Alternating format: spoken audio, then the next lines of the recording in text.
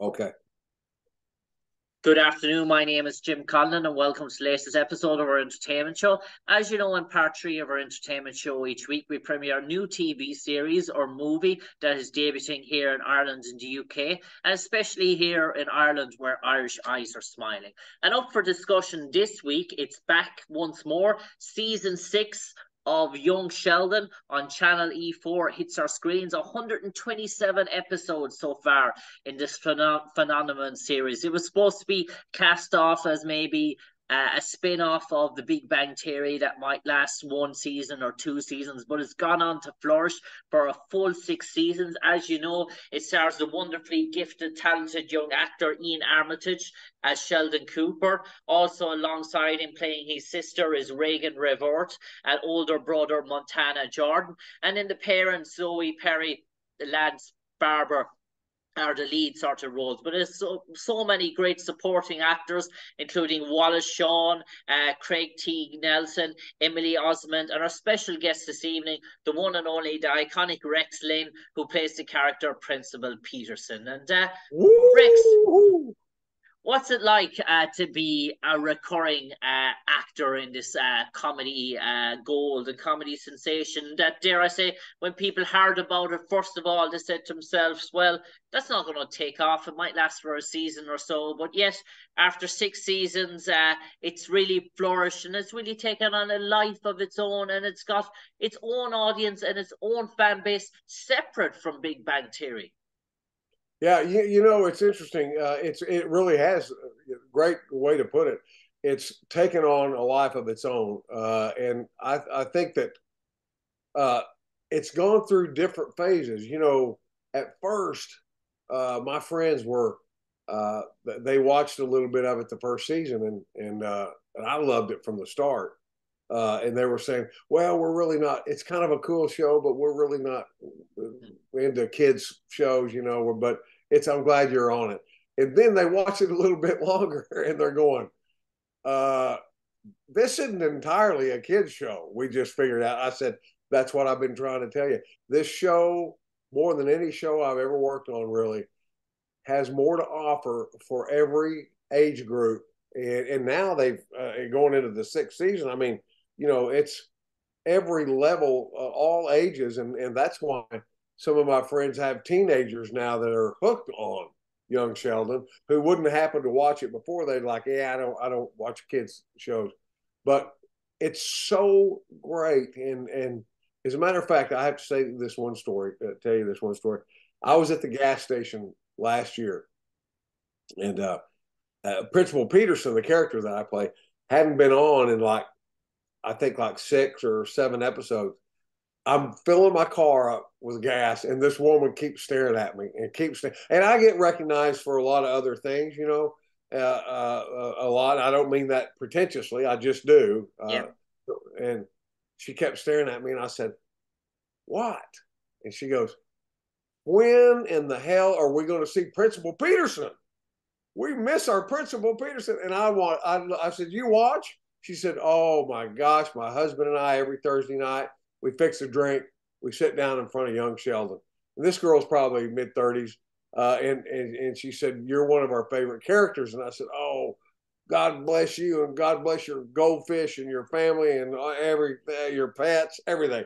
And she gave me a big hug and she said, Well, we look forward to seeing. The point of the story is, is it just it's just affected everybody from nine year olds to 80 year olds. People watch this show. Rex, obviously, you've been in an awful lot of projects down through years, TV series, comedies, movies as well. In terms of supporting cast and giving them backstories and depth to their characters in terms of making a, a, show successful. We look at classic shows. Take Married with Children, the Bundy family, the supporting cast in terms of that, the Darcys, the neighbours, everything.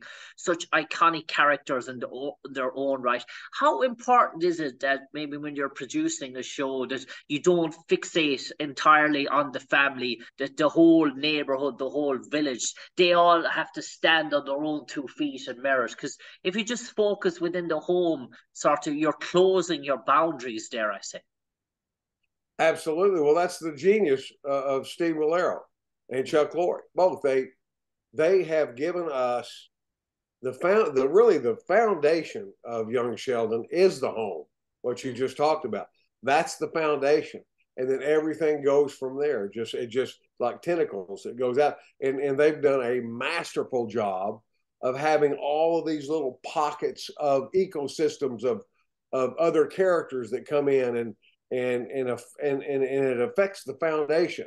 You know, it affects George and Mary and and and the kids and everything. So they've done they've done such a great job doing it that that that's the main reason. Other than the writing is amazing. The writing, the whole cast is amazing, but that's the reason it's it's attracted so many different age groups because it's not like I said, it's not just a children's movie, uh, uh, uh, series.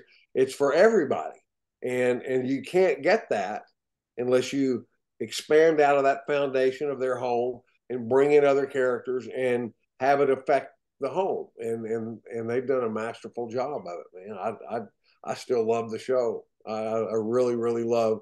I've seen every episode. I really really like it. I've become really close with most of the cast. I say most of some I haven't worked with, but but uh, it's been it. I tell you what's been interesting for me the first episode ever of Young Sheldon, I was in, and I have I have Ian that plays Young Sheldon. I have Young Sheldon in my office, and then I have all the teachers in the office, and all the teachers are talking or complaining about Sheldon, and uh, so Ian was just like this little kid, man. I mean, he really was, and he'd say, "Good morning, Mister Linn," and I'd say, "You can call me Rex. I'm not Mister Linn." Now I'm walking down the hallway. He passes me, going, "Hey, dude."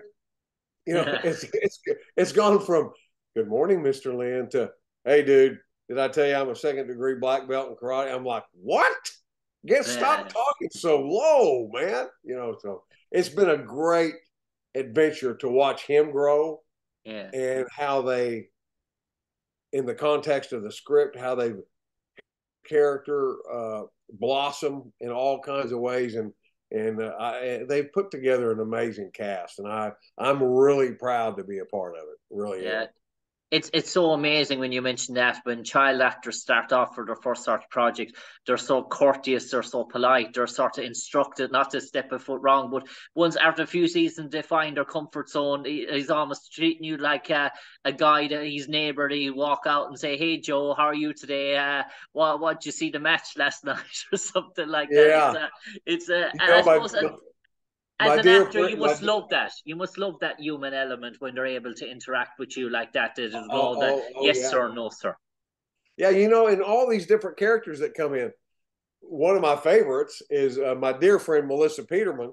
You mm. know, uh, who plays next door, uh, Brenda, but she she's just uh, so good in it. They're, they're everybody's so good in it, but there's so many great characters that they've introduced, and really great actors and uh, it's just not only is it one of my favorite shows of all time, uh, uh, but the for me as an actor to be able to work with the people that I'm working with, and I, I swear, man, Lance Barber that plays George, I tell you, man, he has grown into this. His timing is unbelievable. He he he is just developed into this amazing uh, character on the show. I just I love watching him constantly, and he's a dear friend of mine now, and I'm proud to say that. But uh, he he's one of my favorites. And Rex, when you were initially cast in this role, I mean, you start to say, "Yeah, I'll take on that. I'll take on Principal Petersen." What ideas jumped off the script for you to say, "Right, that's the direction I'm going to take it"? And did did it give you an awful lot of creative freedom as well in terms of the character, in terms of the angles or the approach that you want to take it on? And was that very important for you to signing on that, yes, uh, I need my voice to be heard here in terms of what I see in terms of Principal Petersen? Yeah, no, Steve's been great. He's been he's allowed a lot of freedom. Uh, we we discussed the character and but but we really didn't know initially what direction he was going to take uh, with the character and we really didn't know because at the time Principal Petersen was married. then over the course of time, he's divorced, and then he becomes a close friend of George's, even though he's an employee of his. Uh, he's the, uh, George is the football coach, and uh, but we develop a good relationship. It was very clear from the start that uh, Steve wanted Principal Petersen to be an integral part of of the show, and and he and he let me know that. It's just he didn't really know at the time what direction it was going to take, and I didn't care. I just wanted to be Principal Petersen on the show, and and so my role gradually uh, got bigger and bigger, you know, and and and and they really put me in the middle of, you know, some family things, and and uh, so Principal Petersen ends up being sort of an anchor, you know, and there especially for George, uh, a good friend and a confidant, but also ha- having to be having that complexity of also being his boss. So you know, I'm hiring, firing, uh, but we're still talking about life struggles and all that stuff. So what Steve did with Tom, with uh, with uh, uh, Principal Petersen for me has been fantastic as an actor. Really, really, he's been he's given me a lot of freedom uh, as the years go on, and and uh, it's been great. It's just really been great. And Rex, uh, do you like those sorts of recurring roles where they maybe have maybe episodes for you, maybe for two or three episodes, and they might give you a, a phone call and say, "Hey Rex, we're, we're shooting season two, maybe three or four episodes down the line. We would like you to come in for maybe four to five weeks uh, to shoot these one or two or three episodes for this season, and uh, we might see you again towards the, the end of the year. Do you sort of like that? And was there certain times they came knocking at your door where you were uh, starting out on another project or title project, and when they said, "Right, we'll come back to you later, Rex, uh, we'll veer towards this sort of storyline towards the end of the season. And uh, I imagine playing those recurring roles, there can be clashes at times.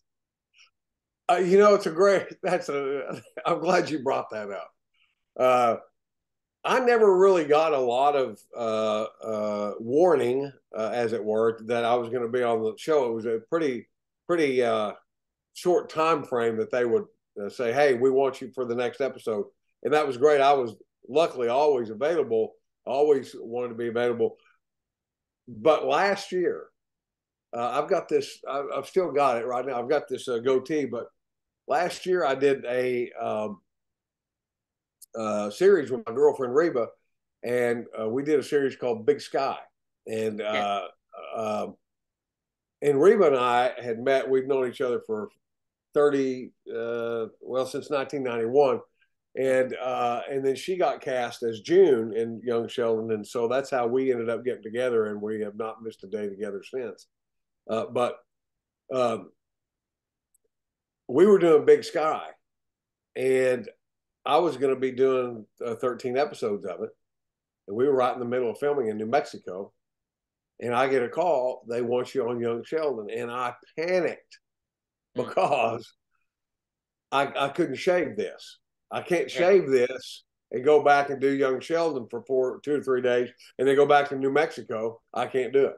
So I called Steve. I was so worried. I literally lost sleep over it. I thought I will never be on Young Sheldon again because of my goatee. So I texted Steve and I said, Steve, I, I can't get rid of this. They're going to allow for my schedule for me to go to Los Angeles and and do Young Sheldon and then come back on Big Sky. Elwood Reid, the showrunner, was great about that. He, he was really great. He said, "Absolutely, we our kids love Young Sheldon." But I said, "Steve, I, I can't shave it." And he said, "Well, don't worry about it. I mean." So Principal Petersen and his uh, his idea was, it's been the summer break. Principal Petersen is now divorced, living in a, an apartment and he decides over the summer to grow a goatee. So we're not even going to mention it. It's just going to be. So I ended up doing in the sixth season. My I've got uh, I've got this goatee. Uh, but um, to answer your question back to that, it was all. It's always. I was always paranoid that I would I would be working on something and not be able to go back on Young Sheldon. But it's really worked itself out great. So I've been really really lucky, really fortunate uh, to be able to to for the most part, go back when they asked me to go back. And Rex, I'm just going to take you away from young Sheldon, and uh, this is probably going to bring tears to your eyes when I mentioned that it's finally come to a close. But God, it's been some roller coaster. Better Call Saul, uh, the last sort of airing of it, and uh, I suppose great things can't go on forever, can they? Uh, no, man. I tell you, I had such a, and even then, Steve Steve Molaro was so accommodating. You know, Ed Begley, Ed Begley Jr. is on Young Sheldon, but he was also on Better Call Saul. So we would talk together, go to dinner in New Mexico, and then he'd have to catch a plane or get in the car and go, and because he had to do an episode of Young Sheldon, or I would. But um, Better Call Saul was one of the great experiences for me in, in New Mexico, and I loved Breaking Bad. It's one of my favorite shows of all time, and to be able to to be a part of of, of Better Call Saul was a dream come true. I ended up doing, I think, 18 episodes, working with Rhea Seehorn. Oh my God, she's the best ever. And, and, and everybody there working with Kara and uh, Dennis and uh, uh, um, it was just and, and Bob. I finally got to work with Bob. It was just a it was a great experience, and and uh, I hated to see it go because I tell you, some of my friends uh, reminded me about this, and and I you'll you'll get a kick out of this. I had some friends working on some movies, and I'd say, "Man, I'm really jealous you're working on that location." And way to go! And they go, uh, "Dude, you're working on Young Sheldon and Better Call Saul. Don't tell me, don't give me that, you know, you, you're doing just fine where you are. And John Lithgow, my dear friend John Lithgow, I did oh, my first movie with did my first movie with John called Cliffhanger. We've been best friends ever since. He loves Young Sheldon. He loves Better Call Saul. And one night he texted me, and it was so great. He said, I just want to remind you that you're on two of the smartest shows on television. And he said, Congratulations. Just, uh, just out of the blue. And it made me realize, you know, I never took one day, I've never taken one day of Young Sheldon for granted or Better Call Saul. I've just been really, really fortunate. It was great. Rex, you'll have to put me in touch with your best friend, uh, John Lithgow. I have so many stories to talk to him about Third Rock from the Sun. Anyway, if you can do that, I would be amazed uh, sometime oh, in the near future. I can I can talk to him about that. he, he's up and on vacation right now. He's been doing the old man with uh, yeah. uh, Jeff Bridges, but uh, he, he's uh, he's on vacation right now. But I'll let him know that you want to talk to him. Oh yeah, definitely, definitely, uh, definitely, definitely chalk that down. One hundred percent sure we move earth, rain, and snow to make that happen. Uh, Rex, before I let you go, you mentioned before you came on air about Africa and Ireland as being the next two protocols. Uh, are they sort of? I don't want to put the hex on you, but are they sort of two bucket list wishes for you? Dare I say, or is bucket list uh, the wrong word to be using? Is I'm sorry, what did you say? uh, is uh, are they sort of two wishes for you on your bucket list in terms of things uh, left to oh, do? Yeah, or yeah. Is, uh, is bucket list the wrong word to be using? No, no, I, I, I absolutely. I have. I'm Scottish Irish anyway. I have dreamt of going to Ireland all these years, and I am embarrassed at 67 years old. Well, I, what am I saying? I'm 66. I'll be 67 pretty soon. At 66 years old, I'm well, embarrassed to say I've chicken. never been. You're only a young spring chicken. oh, thank you. I, am embarrassed to say I've never been to Ireland, and my dream other dream trip is Africa. So uh, Reba and I are going to try to do an African trip next summer, and we're going to tie in Ireland. Uh, uh, and I, I'm, I just can't wait. I love the history of Ireland. I, I hope that I get to go all over Ireland, and uh, I, I just love, love the Irish people and uh, I really can't wait to to get over there. And and I'm glad. Uh, so, uh, am I correct in saying that is the sixth season of Young Sheldon about to start in Ireland? Is it about yes. to air? Your sixth season, yes, on Channel E4 here in Ireland. Yeah. Oh, great, great, good deal. I, am uh, well. Now listen, you have to take me. I'm a foodie. I love yeah. food and I love Irish food. So you got to take me I'm going to make sure you promise me to do this. When I when I go with Reba, we're going to get in touch with you. You got to take me to your favorite place to eat Irish food. Your very favorite. Hey, okay.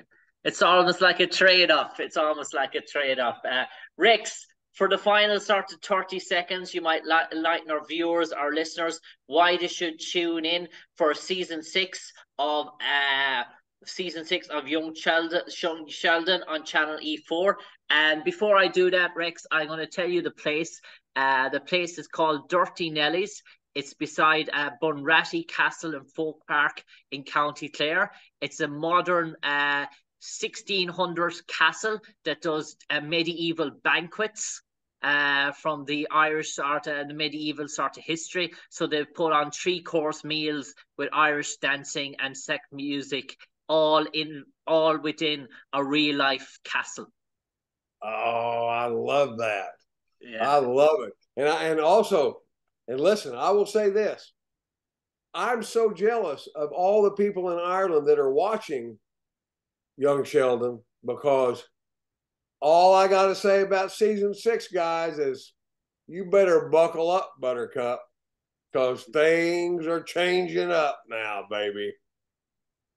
On that note, Rex Linn, an absolute pleasure talking to you on the airways as we look joyfully ahead. Season six of Young Sheldon. Rex Lane plays the character Prince Petersen on Channel E4. But for the moment, Rex, from me, Jim Conlan, to you, Rex Lane, stay safe, take care, God bless, and uh, do stay in touch with Niall Horan. He'll point you in the right direction. But for the moment, uh, Rex, take care and goodbye, sir. Lots of love, brother. God bless you. God bless, Rex.